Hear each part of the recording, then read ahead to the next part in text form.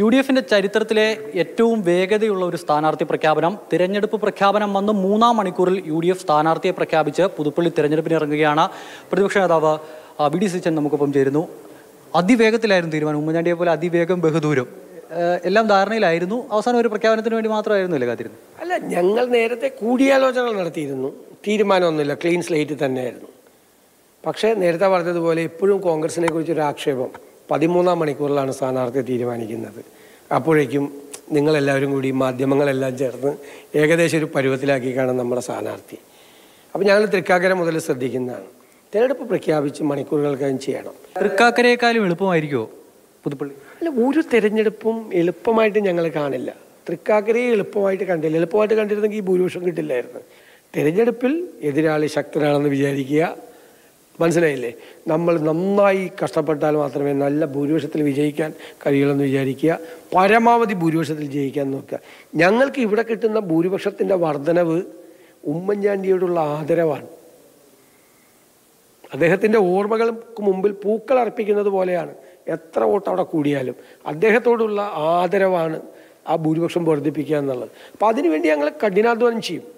അനുസ്മരണ യോഗത്തിൽ നടത്തിയ ഒരു പ്രസ്താവന കോട്ടയത്ത് വലിയ ചർച്ചയാണ്. കോട്ടയത്ത് നിന്നല്ല കേരളത്തിൽ മുഴുവൻ വലിയ ചർച്ചയാണ്. അനിൽകുമാർ എന്ന് പറയുന്ന സി പി എം നേതാവിന്റെ ഒരു പ്രതികരണം കേട്ടിരുന്നോ? ഈ വിശുദ്ധ വിശുദ്ധനാക്കി പ്രഖ്യാപിക്കുന്നതുമായി ബന്ധപ്പെട്ട വിഷയത്തിൽ ഞാൻ ഉമ്മൻചാണ്ടിയെ വിശുദ്ധനായി പ്രഖ്യാപിക്കണമെന്ന് ഞാൻ ആവശ്യപ്പെട്ടിട്ടില്ല. തെറ്റായ പ്രചരണമാണ് നടക്കുന്നത്. ഞാൻ അനുസ്മരണ സമ്മേളനത്തിൽ ഒരു സാധാരണക്കാരനായ മനുഷ്യൻ എന്നെ വിളിച്ച് പറഞ്ഞു താങ്കൾ പ്രതിപക്ഷ നേതാവല്ലേ? തിരുമേനിമാരുമായിട്ടൊക്കെ അടുപ്പം കാണുമല്ലോ. അവരോട് പറഞ്ഞ് ഉമ്മൻചാണ്ടി സാറിനെ വിശുദ്ധനായി പ്രഖ്യാപിക്കണമെന്ന് പറഞ്ഞു. അപ്പോൾ എല്ലാവരും ചിരിച്ചോടെ അപ്പോൾ ഞാൻ പറഞ്ഞു എനിക്ക് എന്റെ നടപടിക്രമങ്ങളൊന്നും അറിയില്ല. എന്തിനാണ്? എല്ലാവരുടെ ഹൃദയത്തിൽ അദ്ദേഹം ഉണ്ടല്ലോ. പിന്നെ എന്തിനാണ് പ്രഖ്യാപിക്കുന്നതെന്ന് ചോദിച്ചു. ഇത്രയുള്ള സംഭവം.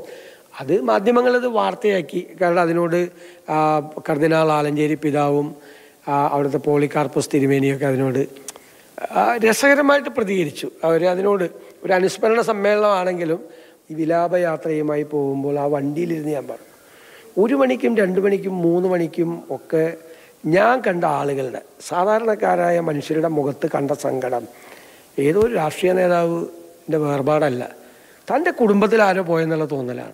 അതാണിപ്പോൾ ഈ കല്ലറയിലേക്ക് ആളുകൾ പ്രവഹിക്കുന്നത് തീർത്ഥാടനം പോലെ. ഇപ്പോൾ ഗൾഫിലുള്ള ആളുകൾ. അവർ വന്നു കഴിഞ്ഞാൽ നേരെ വിമാനം ഇറങ്ങി വീട്ടിൽ ചെന്ന് പെട്ടിയും വെച്ചിട്ട് ഫാമിലിയായിട്ട് നേരെ പുതുപ്പള്ളി പള്ളിയിലേക്ക് പോവുകയാണ് കേരളത്തിന്റെ വിവിധ ഭാഗങ്ങളിൽ നിന്നാണ്. എല്ലാം മതസ്ഥരുമായിട്ടുള്ള ആളുകളാണ്. എല്ലാ മതസ്ഥരുമായിട്ടുള്ള ആളുകളാണ്. പിന്നെ കേരളത്തിന് പുറത്തുള്ള ആളുകൾ അന്ന് വരാൻ പറ്റാത്ത ആളുകൾ എല്ലാവരും ലീവൊക്കെ എടുത്ത് വന്ന് അവിടെ പോവുകയാണ്. പിന്നെ ഇവരിപ്പോൾ ഈ ഇലക്ഷൻ പ്രഖ്യാപിച്ചപ്പോഴേക്കും തുടങ്ങി. ഇവരുടെ സ്വഭാവം ഉമ്മൻചാണ്ടി കൊലയാളികൾക്ക് കൊട പിടിച്ചു കൊടുത്ത ആളാണ് ഇയാൾ കുഴപ്പക്കാരനാണ് ഇയാൾ കൊള്ളരുതാത്തവനാണ്.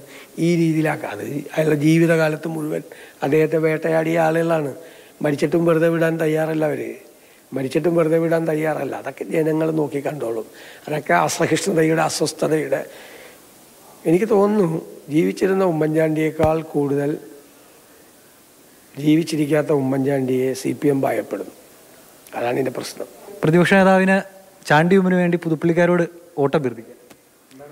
തീർച്ചയായിട്ടും അല്ല അത് എന്നേക്കാൾ നന്നായി ചാണ്ടി ചാണ്ടിയുമ്മൻ അവർക്കറിയാം. അവരുടെ പ്രിയങ്കരനായ ഉമ്മൻചാണ്ടിയുടെ മകനാണ്. ചാണ്ടി ഉമ്മൻ ജനിച്ചു വീണപ്പോൾ തൊട്ട് പുതുപ്പള്ളിക്കാർക്ക് എല്ലാവർക്കും അയാളെ നേരിട്ടറിയാം. കുഞ്ഞായിരുന്നപ്പോൾ തൊട്ടറിയാം. സാധാരണക്കാരുടെ ഇടയിൽ ജീവിക്കുന്ന ഒരാളാണ്. അവർ ഉമ്മൻചാണ്ടി സാറിനെ സ്നേഹിച്ച പോലെ തന്നെ ചാണ്ടി ഉമ്മനെയും സ്നേഹിക്കും എന്നെനിക്ക് പൂർണമായ വിശ്വാസമുണ്ട്. ഇനി അറിയാനുള്ളതെല്ലാം ഇടത്തെ സ്ഥാനാർത്ഥി ആരാണ് എന്നുള്ള കാര്യത്തിലാണ്. അതുകൂടി ആയാൽ കേരള രാഷ്ട്രീയത്തിന്റെ കണ്ണുകളെല്ലാം പിന്നെ പുതുപ്പള്ളിയിലേക്കാവും.